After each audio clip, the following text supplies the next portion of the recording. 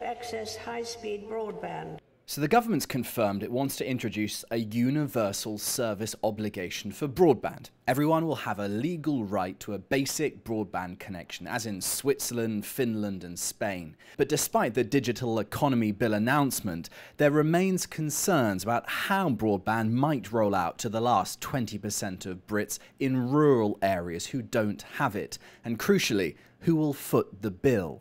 So I've come to a famously disconnected place, small village called Staylittle in rural Wales. Now this is the kind of place you come for a digital detox. There is no broadband here and as is so often the case, there's also no mobile phone signal. We're a minority really, aren't we? So we're just, you know, the forgotten few really. Broadband is sort of something you take for granted and you go somewhere else. Not having broadband internet can knock up to 20% off the value of your property, it's thought. And aware of that, locals have long been unsuccessfully crying out to get on the grid.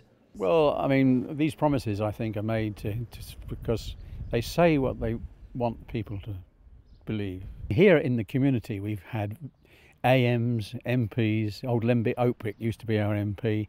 He went to head office in London. We had a big petition, everybody signed it. Nothing has ever come to anything. For 1916, it would be all right, but for 2016, it's, it's pretty poor, really.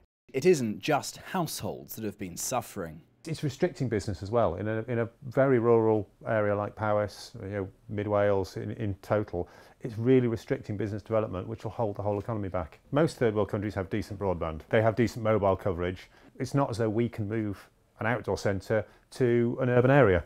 Adrian runs this outdoor centre from the village. He relies on an unreliable, slow and expensive satellite internet connection to just send emails. And he's afraid this right to broadband might not mean that much.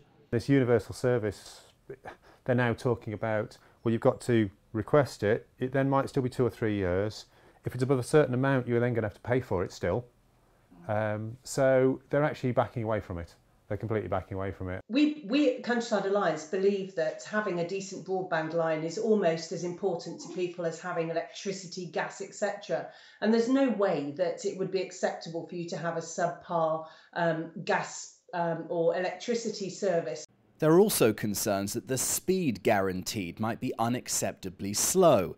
So while now offline parts of Britain might win 10 megabytes per second connections, some of the world's most connected cities are trying now to roll out networks of 10 gigabytes per second. That's a thousand times quicker.